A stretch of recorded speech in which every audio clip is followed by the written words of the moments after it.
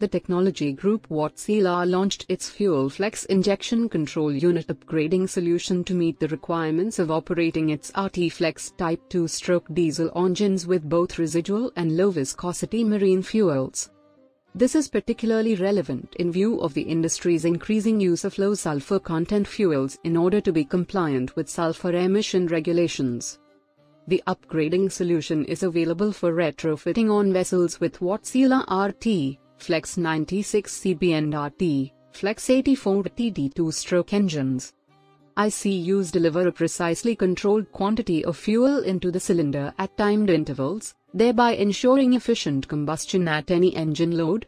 The accuracy of the fuel metering and injection timing can be affected by leakages in the piston and valves within the ICU, with the fuel viscosity, pressure differential and clearances having an impact on the amount of leakage.